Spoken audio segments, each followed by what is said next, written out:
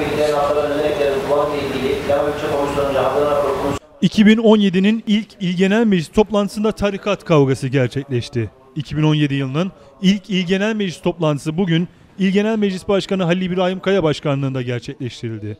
2017 yılının iyi dilekleri ve yaşanan son terör olayının lanetlenerek başlanan mecliste Cumhuriyet Halk Partisi İl Genel Meclis üyesi Yıldız Bek ile İl Genel Meclis Başkanı Halil İbrahim Kaya arasında sözlü tartışma yaşandı. Yıldız Bek konuşmasında son terör saldırısından sonra milleti ayrıştıran ve kışkırtan tarikat önderlerinin, Rize'de Atatürk büstünü kaldıranların, Cuma hutbelerinde yılbaşı kutlamayın diye vaaz veren hocaların bu olaylara vesile olduğunun dile getirilmesi üzerine İl Genel Meclis Başkanı Halil İbrahim Kaya oldukça sinirlendi. Yıldız Bek'in açıklamasına tepki gösteren İl Genel Meclis Başkanı Halil İbrahim Kaya, size gelene kadar herkes ne kadar güzel temennide bulunmuştu.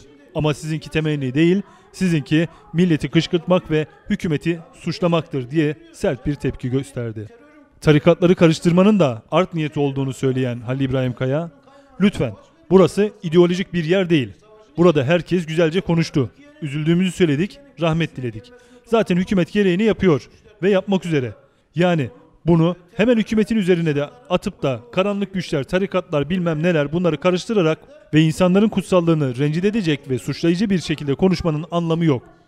Art niyet yoksa tarikatları falan niye karıştırıyorsunuz? Büstü oradan alıp Rize meydanına koydu. Bunda ne var yani? Atatürk büstüne kim ne yapsın?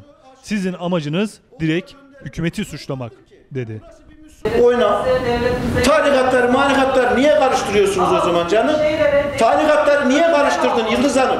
Tarikatları niye karıştırıyorsunuz? Ya tarikatları niye karıştırıyorsun o zaman? Art niyet yoksa niye karıştırıyorsun? Niye o bu, şu olaya büstü alıp da bilmem ne yaptı diyorsun? Büstü alsana şuradan aldı şuraya koydu. Atatürk'ün Atatürk'ün büstüne kim ne yapabilir ya? Kim ne yapabilir? Abdullah Bey de bahsetti. Yılda bunlar oldu diye.